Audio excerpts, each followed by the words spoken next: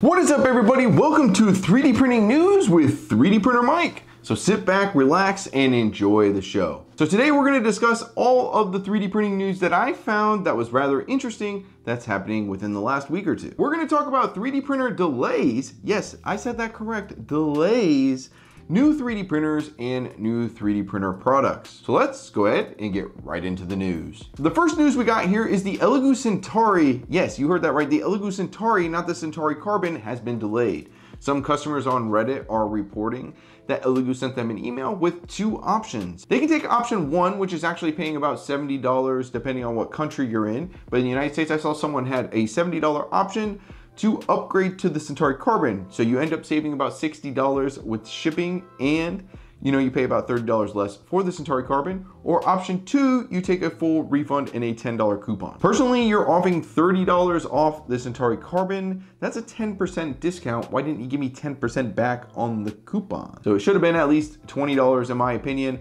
or I would have been happier with you sending me a roll of filament. Now, I'm not in this situation that would just be my line of thinking. So they did say they were delaying it because of improvements and enhancements found there by their R&D team. So they delayed it about two to three months. However, I saw another email that said they delayed it indefinitely. So we're not really sure what that's looking like. I know they haven't sold any units since launch. It sold out. As far as I know, it's never been back in stock. So to me, that doesn't bode well for the long term at least with the Elegoo Centauri, I think after this batch, they would just not produce them anymore. Now, I could be completely wrong, but I could also see them canceling this product because it's only 199. It can't be making them that much money. Now, some of you may be thinking, well, wasn't it just an Elegoo Centauri Carbon without the panels? It actually was not. The internals on the Elegoo Centauri were cheaper, and that's why they were offering the price of 199. So we'll see, and time will tell when this product comes out you do have to wonder, are we gonna see the multicolored system from Elegoo in quarter three then? Because that's when it was promised. But if we do, I will say just a word of caution, guys. I don't think they're gonna have enough stock for everyone to get that. I personally would be surprised if everyone with the Centauri Carbon was multicolored printing by the end of 2025. So moving on, we do have Qidi. They kind of quietly announced their multicolored system and went live on their website. It's available for $229. Dollars you can dry your filament while printing which makes you wonder why Bambu Labs AMS2 Pro doesn't offer that when pretty much any new filament dryer on the system or on the market is doing that. There are a lot of internal specs that I don't really want to sit here and bore you with, but at this point, if you have a printer that doesn't have multicolored printing, it's kind of crazy in 2025. I do think 2026 will be the year of multi-tool heads instead, since we've come so far with multicolored and pretty much every printer offers it. So I did mention, why did Bambu Lab leave that off their AMS2 Pro? Well, they did, right? And now Sunlu has you covered. They did come out with a new filament drying system that you can hook up to your AMS. Go ahead and check it out. I haven't got one personally, but there's so many people here on YouTube that have gotten them. So go ahead and check it out. They have it for pre-order. I believe it was shipping within the next few months. And that's one of the things, I would think it's like a software update maybe with Bambu Lab where they can make the AMS2 Pro um, also like print and dry at the same time, but maybe it's not. Maybe that's just the way it is. There are some arguments that you don't really need that feature, which I can also see that, but I don't dry my filament, so I don't know. I live in Phoenix. It's dry here. I never need to dry it. Oh my gosh what a benefit, right? But when it's 115 degrees outside, you guys, I think I would happily trade drying my filament. So that's it for the dryers and those products, but we also have some new 3D printers on the block. If you guys have been on TikTok, you've heard of YuMi. They've officially launched their Kickstarter.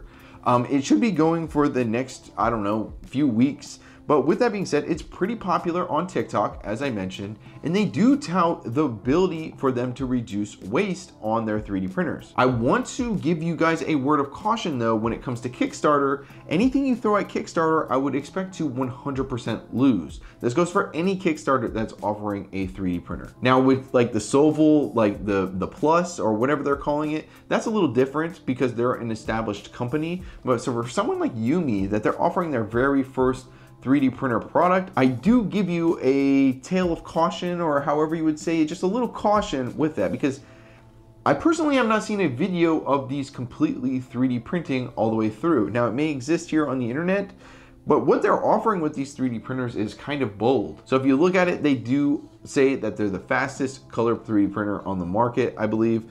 Um, you know, they're advertising themselves a lot to Bambu Lab. The main benefit of them, they're saying, is reducing waste. They have an interesting setup. They're all bed slingers and they're all top mounted on the gantry. So it is very, very interesting um, how they look. So if you want to go ahead and check them out, you can. But again, it's a Kickstarter, so keep that in mind. Word of caution, don't expect to get your product. But it does say they're going to ship in December of 2025. And, you know, there are some TikTokers that have been to their factory as well. So if you trust them, you know, maybe you want to take a shot in the dark on one of their printers. I will say though, when I was looking at the prices, they're, they're not that great when it comes into comparison. Yeah, the Kickstarter prices are good, but post Kickstarter, hopefully they can compete. I know it is running on Klipper, um, so you guys can look through their description on that. Again, I think it looks very interesting, but I'm personally of the the side that hold off when it comes to new 3D printers at this point, especially if it's going to be your one and only 3D printer. If it's going to be just you know you don't have money just to blow on 3D printers. I fortunately am in a position where sometimes I do, um, but you know I I'm not buying it. I don't think you should buy it personally. But if it's something you're interested in, maybe you take a shot if you have the money to blow. But again, I I've never used one. I don't have it in hand. I don't know. Now again, it is a Kickstarter, so I want to give you that caution, but I thought it was a cool project that's already been backed and something that we can keep our eye on with YuMi in the future. If everything they are, you know, advertising comes true, they could be a competitor in this market. I do wish though, if their retail prices were a little lower, because at this point you can get an Anycubic Kobra V2 for cheaper. I mean, that printer isn't perfect, but for the most part it works right and there's a lot of support for it online. I, you know, the Bambu Lab A1 is like 479 right now with the Bambu Lab sale with the combo. It's at 550.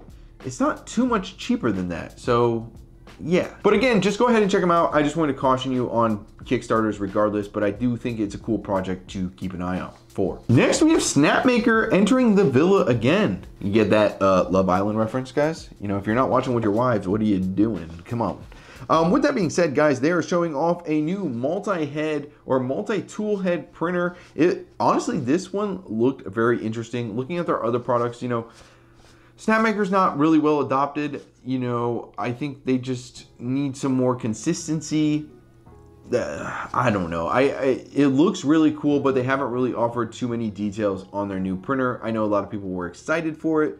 Um, it does look awesome. Like if it came out and it was great and they didn't do any of that weird behavior. So with it being a new multi-tool head, I think that is the future, honestly, and maybe Snapmaker's ahead of the game. You know, Bambu Lab was a little bit ahead of the game already with their dual tool head. Prusa has like their four or five, whatever it is, tool head changer.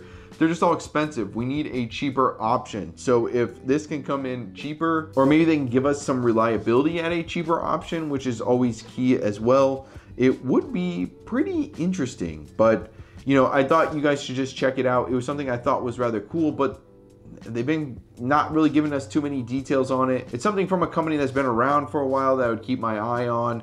You know, they're not really, they've kind of fell out of the loop with people, but you know, it's just something interesting. I like seeing 3D printing technology progress. So it's just something I thought looked pretty cool. So that is going to do it for the news, but I want to say I think that over the next few months there's going to be a lot of 3D printer companies kind of popping up.